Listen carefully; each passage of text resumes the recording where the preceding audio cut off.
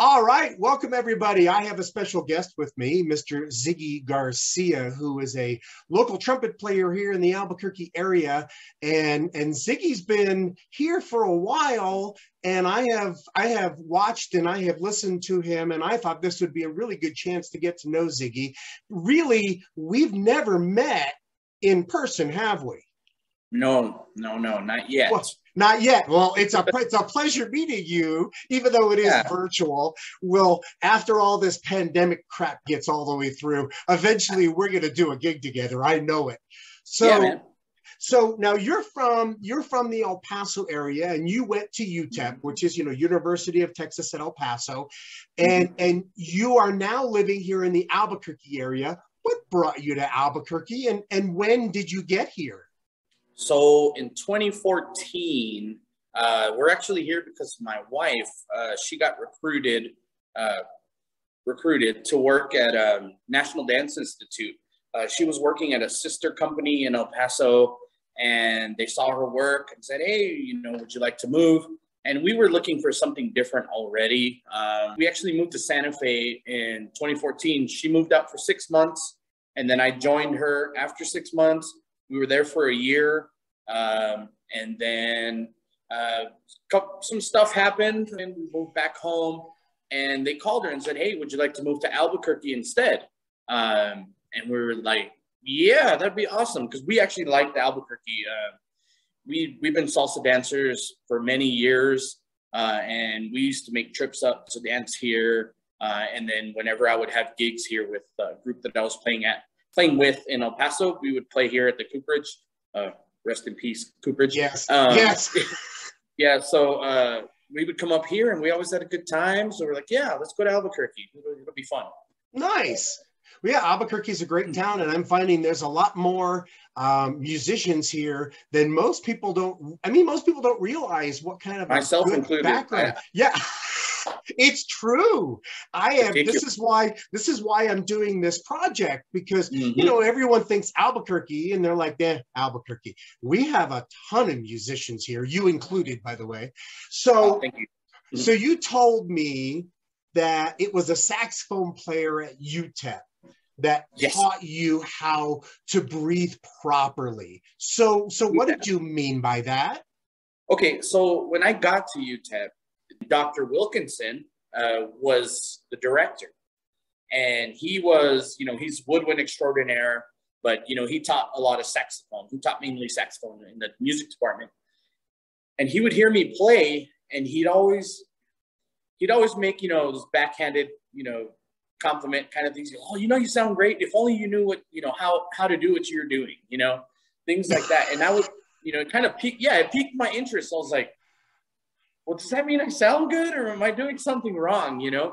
So, so, you know, I, he was really easy to talk to, always super friendly, always super open. His door was always open. So I walked in one day to his office and I said, "He's like, so, you know, am I doing something wrong? You know, and, and he said, well, I think you can be more efficient.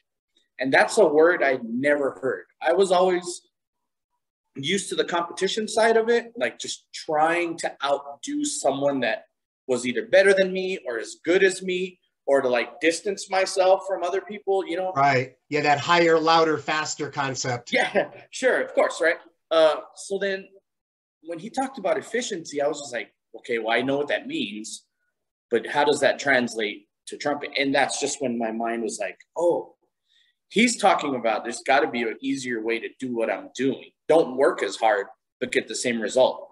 Mm-hmm. And, you know, he always talked about Bobby Shew. He always talked about, so I, you know, even in high school, I knew about Bobby Shew um, just because, you know, I was interested in like, in lead playing and every lead player who's out there has, has gone through Bobby or learned from him or whatever. And so here we call him Doc. So when Doc was talking about Bobby, I was like, okay, well, there's something to this well, he he was talking to me. He's like, well, you know, you need to look up this thing called the wedge breath, the wedge method. And so I was like, okay, well, what's that? And then so it turns out, you know, it it kind of go all the goes all the way back to like Maynard and like all those guys. Yep. And once I kind of learned it, it was just implementing it, and that was the hardest part. Is just being patient with myself. Right. And Doc was always really good about, nope, you're going too fast. Slow down, slow down. Because then I would always rely on my face. Right. My face was really wrong, you know. Right. Uh, and, and this time I was doing drum corps, so I was like Iron Man at this time, you know.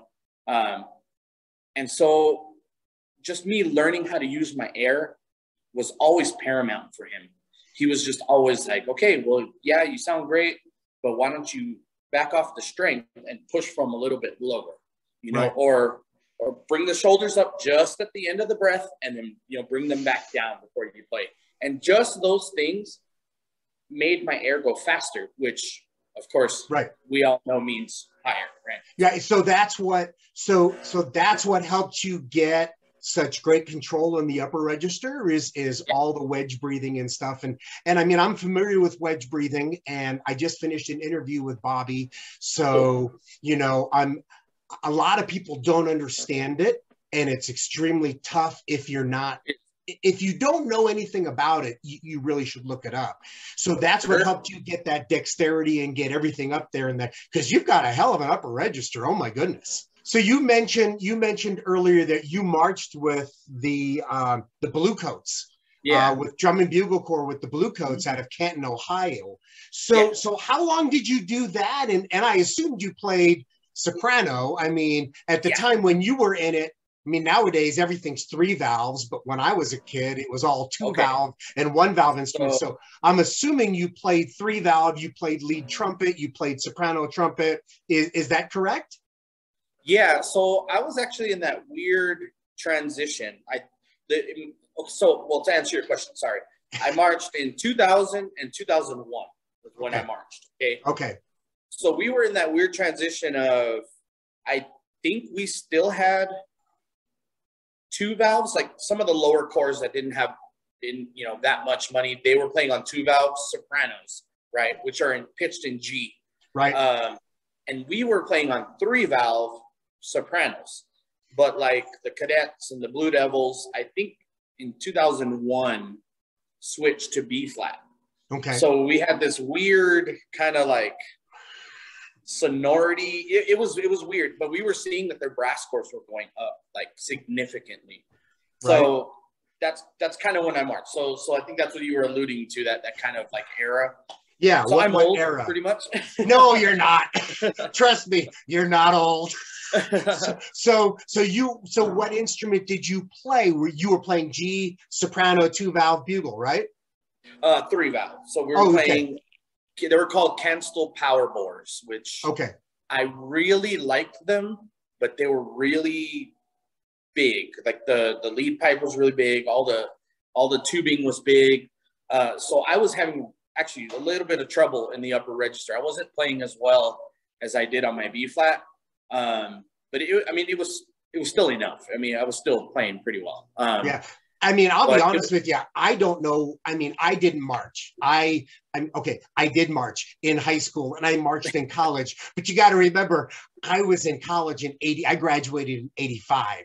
So, okay. you know, my band director was from Ohio State. So we were doing high step, you know, that's you cool. know, well, yeah, but it's not the same as drum and bugle corps. Drum and bugle corps was just getting started big time yeah, when sure. I was finished with all of that and and so so now you are heavily involved with Arsenal, which yeah. is the drum and bugle corps that was founded in New Mexico, but yeah, and and you know, not long story short, now you guys are based out of El Paso. Yeah. Um, honestly, I had no idea that we even had a drum and bugle corps in New Mexico, and and like you said, in in El Paso, I didn't even know one was close. I thought they were all back East Coast and Midwest. How long mm-hmm. have how long have you been involved with that? Are you one of the founding so, fathers?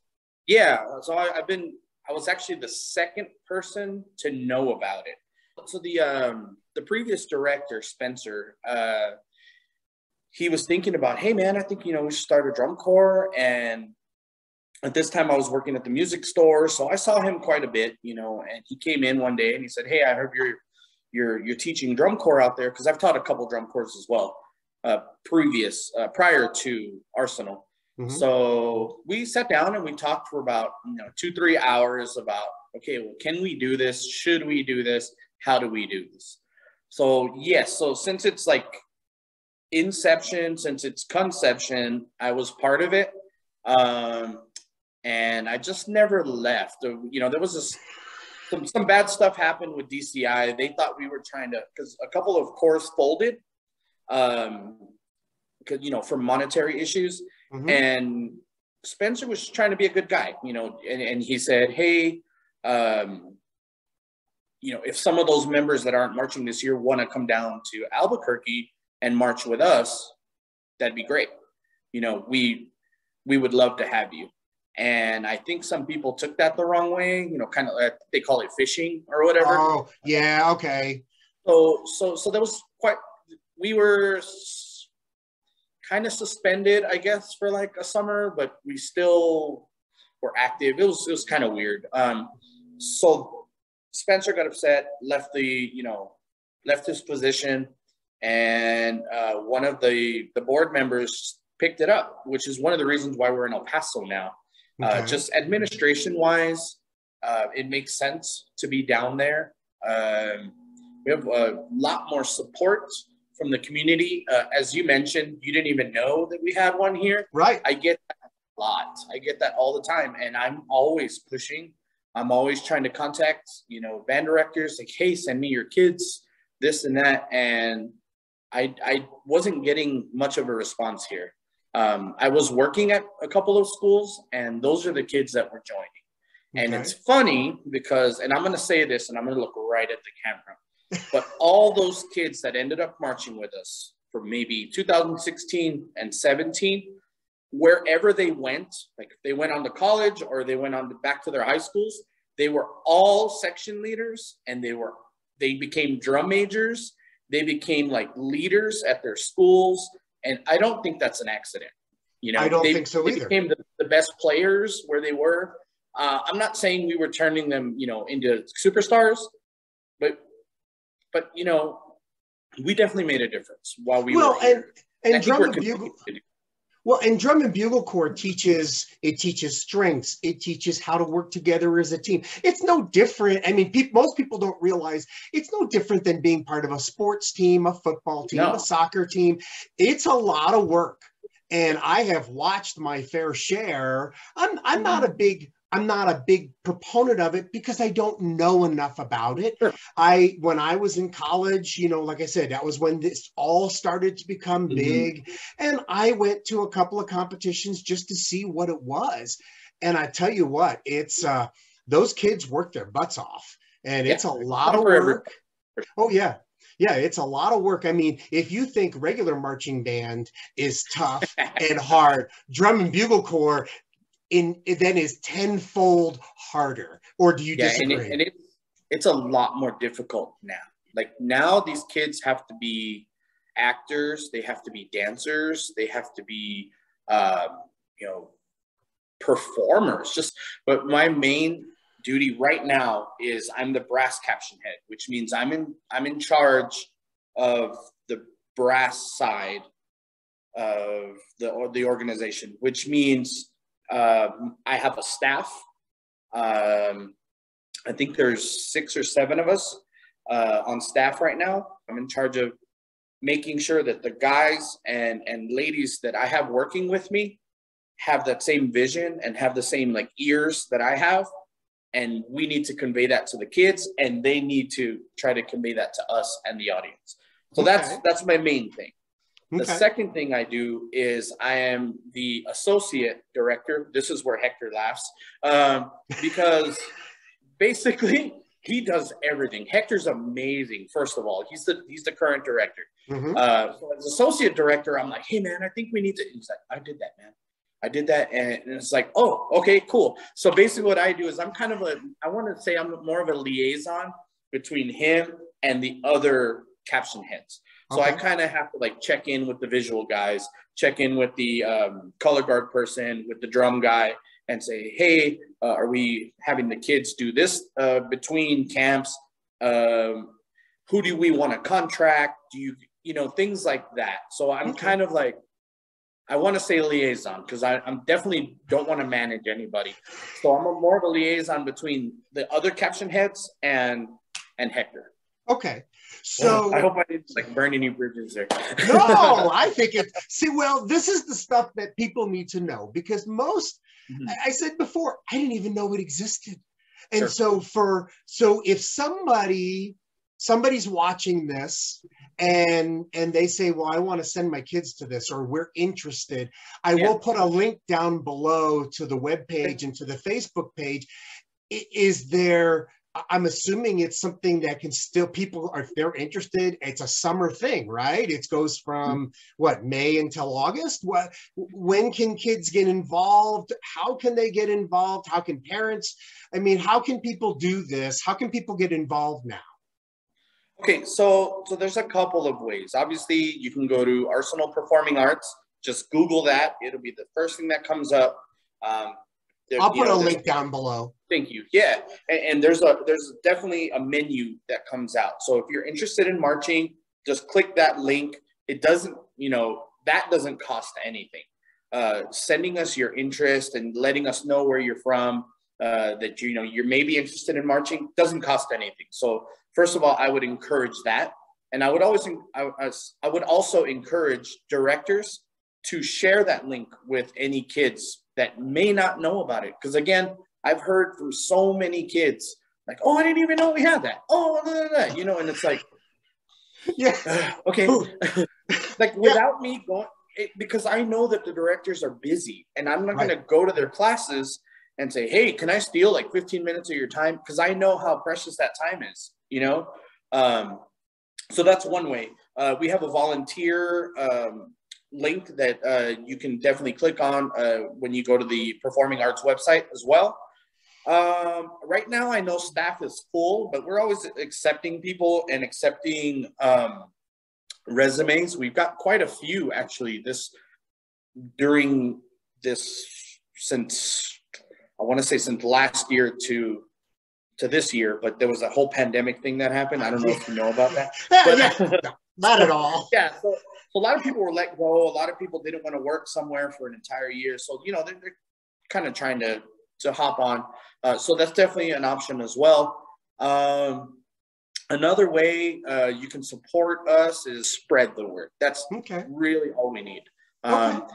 We and when does a normal when does a normal i'm sorry to interrupt you but when does yes. a normal season so if someone okay. were to say okay i'm a high school junior and i'm interested so when does when does the normal season run when do you guys go hot and heavy so to speak yeah so what we do is we do move-ins we're, we only do a month long for now. We're, we're, we're trying to do slow and steady wins the race. Um, we're still kind of figuring out our identity of like, do we want to be a big drum corps? Do we want to like be a small and, and I'll get back to that. Do we want to be like a smaller drum corps? What do we want to do? So we figure that we just want to give kids the experience because I come from in 1999. 1999, I went out and I tried out for the Blue Devils and I right. didn't make it.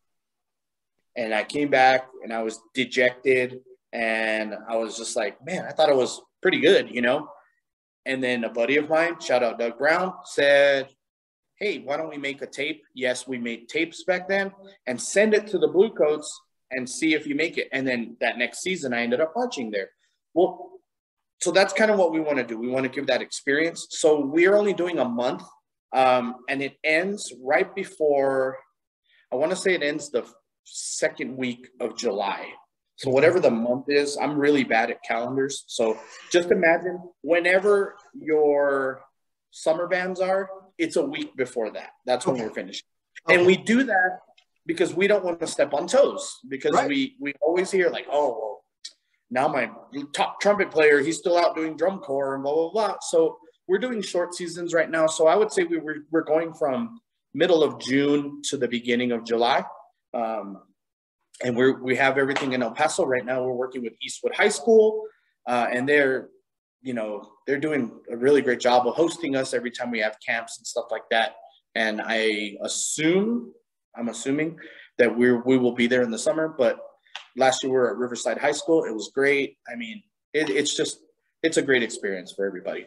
Okay, so I have a let, let's let, let me let me move on from here because I want to talk sure. about you as a trumpet player.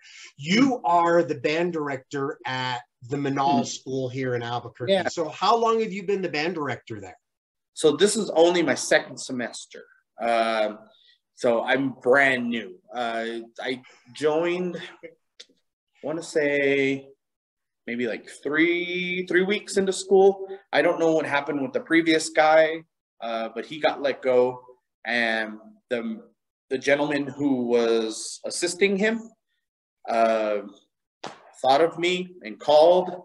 And this was at a point, I'll be totally honest with you, we were one week away from moving back to El Paso.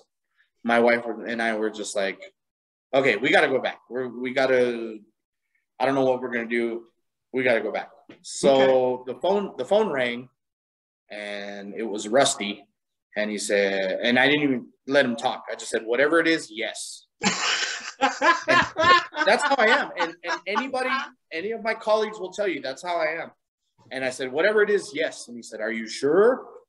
And I said, Yep. He's like, Okay, this just opened up. And I said, Let's do it. Two days later, I got the job. Nice. Uh, and I, I like it, man. In this this semester, you know, even though we're two days into school, it's already more comfortable than my first one because I just didn't. I was trying not to get fired, trying to keep my head above water, and give the get kids a great experience. Good. And I think I accomplished that uh, because they I think I only lost like two kids, but because they had to do, you know, to graduate, they had to like take other classes. But yeah. all my kids came back and I have more kids and it's cool. I love it here. I'm glad you're working with them and I'm glad that they have a band. Yeah, for sure. Yeah. I mean, and it's really small. I mean, we don't have a big program, but uh, we made some changes and now the band program's a little bit bigger. And I'm super grateful to be here. Um, so, you know, I don't know how long I'll be here at Menaul, but I like it right now. And, and it's working with my schedule. I still get to play. I still get to teach. You know, I don't have a marching band here. I don't plan to, uh, but I still get to, to go out and help out and I get to do drum corps in the summers. And yeah, so it's working, a, man that's a good balance. So you yeah. play with you play with quite a few bands here in Albuquerque. Yeah. And you're a very in-demand lead player. Um, so so what bands do you play with here in town on a regular basis? So regular basis, I play with Nosotros. Um, that we're based out of both Albuquerque and Santa Fe. We do a lot of gigs up in Santa Fe just because um, I think popularity wise, and demand wise, we, we have some more up there. Uh, so Nosotros is like my main gig. But other than that, um, I play quite a bit with uh, Darren Cordova and his son, uh, Darren Lee, and his daughter. Um, we play, you know, some really great charts. I don't play lead there, which is awesome because the pressure's off. Uh, but but usually, uh, yeah, you know, I get hired. You know, I, I fill in for Paul Gonzalez sometimes, which uh, with Paracutanga, with Guy sixty six. Uh, man, just here and there, you know. That. So let's talk. I'm a gear guy, always have been a sure. gear guy for no mm-hmm. other reason than I, especially when someone plays something different. You play yeah. a very unique mouthpiece and you play a very unique trumpet. So so talk, pick one. I don't care which one. Start with okay. one and go to the other. But you, it's very different. Tell me about that. So so I, I would say that my my horn is probably the most unique uh, part of my gear. The the trumpet mouthpiece is actually pretty special. I'll talk about that first. Um, I actually play on a Hammond Design uh, 6S, which is one of his stock mouthpieces actually, but I I'm really picky about the stuff that I play on. Hammond was looking for brand ambassadors, which means basically uh, like a kind of like a mouthpiece influencer. Like yeah. you buy their pro, you know, you get their product, you buy their product, and then you kind of post about it, and then you use these like hashtags, and like hopefully people will be interested. So um, I was like, well, I wonder if I could do that, you know. So, you know, I sent them, you know, a little video and and uh, you know, they looked at like my numbers on Facebook and my numbers on Instagram. They looked at some, you know, some of my videos and they're like, yeah, we'd love to have you pick a mouthpiece and we'll send it to you for free. And I was just like, oh no. And then one of my buddies contacted me and he said, Hey, I played on a, a 6S. It's like a, a 6C, but it's a little shallower. So it's a little shallower. And I'm not good at shallow mouthpieces. The, just, you know, I have bigger lips, so I yeah. bottom out. Yeah. And so I was like, well, seven Cs are okay. And I've never tried a six. And then if it's a little shallower, we'll see how it goes. I love the mouthpiece. Okay. Instantly, I was like, oh, okay, I can play everything that I can play, but I can also change my sound if I need to. So I fell in love with the mouthpiece. And so, so that's what I'm playing. I'm playing on a Hammond Design 6S.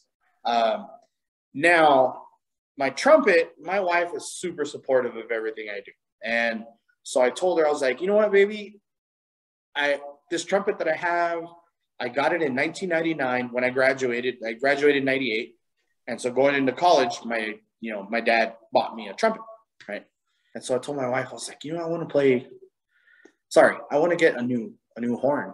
And she's like, okay. And I said, really? Okay, cool. I said, how much is it? I was like, I don't know how much it is, but I know which one I want. And I had my heart set on, I heard about this guy, Mike Del Quadro, who's out of Las Vegas. And I had my heart set on getting a Del Quadro. I was like, okay, well, there has to be something to this, right? Right. And so I called Mike and we talked for about an hour and a half. And he said, well, what do you want? And I said, I want something with that's commercial, like for lead stuff, salsa, um, solo, like Maynard. If I have to do Maynard stuff, I can do it. And he's like, okay, well, I have I have a couple things in mind right now. So I was just like, man, okay. So what he did is he actually sent me two horns. Um, and one of them is called the Grande Campana, which has a five and a half inch bell.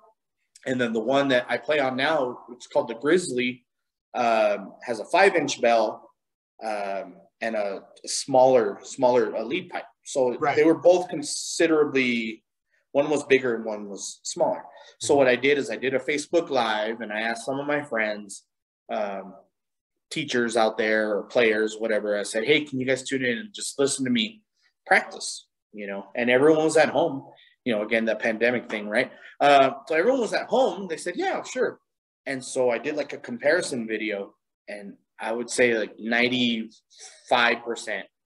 of the DMs I got, of the comments that I got were like, oh, you got to go with the Grizzly. Like we can hear all the harmonics when you're playing high, when you're playing this. Now, the thing about those horns is, yes, I wanted a commercial sound, but again, it was very flexible. They're super flexible, very. I was like, my sound was very diverse. Like, if I wanted to play like dark and fluffy, again with that Hammond mouthpiece or my my old mouthpieces, it, it just I could do whatever I wanted. Okay. Almost. Almost. Things. Yeah, of course, right? We can't ever yeah. do that. But. Yeah, yeah. Well, if we were perfect, we'd all be making a living touring as a professional musician. That's right. So, yeah. so yeah, okay, man. I'm gonna have to look that up. I mean, I don't know yeah. much. I really don't know much about those horns, and so I will have to look up. And the mouthpiece, I'd be curious about. All right, sure. so let's wrap this up what do you have coming up besides your teaching every day which i get yeah do you have any gigs coming up do you have anything uh, in in the oven anything um, i want to say february 12th i'll be playing with uh, ryan montano whenever ryan it seems like he, he can correct me but whenever ryan needs like other horns he or a trumpet he usually calls me to come in and play because um, he writes a lot of like crazy sick harmonies and um, you know, and he'll him and I, you know, we we we get along really well and we play really well together. So um, I'm doing that. Uh, just some shows coming up with nosotros. I mean, you know, if you if you you know want to check out my Facebook or Instagram or whatever, you can do that. I'm always posting when I'm playing. Yep. Uh, but big shows that those two are coming up, and then the summer is obviously you know the, the Arsenal Arsenal right. stuff, which I also post. Uh, I think we're going to come through Albuquerque uh, to play, you know, just because we have some um, alumni here and right. it'd be great to see all them. And, um, but other than that, uh, I'm already booked for Christmas. I, you know, the, the another Christmas gig that I've been playing for like I think this was my 11th year that, you know, I play at this, you know, a big church in El Paso. Right. Um, and they, they make sure to book us. They're like, okay, guys, next year. Like, okay, cool. You know, uh, great, great, great guys over there. And I get to play with some of the, the local Paso guys, which, you know, are awesome players as well. Right. Uh, that's what I have right now on the horizon. Uh, just getting these kids to sound good. I have a lot of beginners here, so that's okay. We appreciate all the work you've done. So, so let's wrap this up. I want to thank yeah. Ziggy very, very much for joining me. I appreciate your sure. time. I appreciate your energy. You. I appreciate all the work you're doing. I will mm. put a bunch of links down in down below and make sure that people understand that Arsenal is out there. And we will look forward to listening to you and seeing you. And I want to thank you very, very much.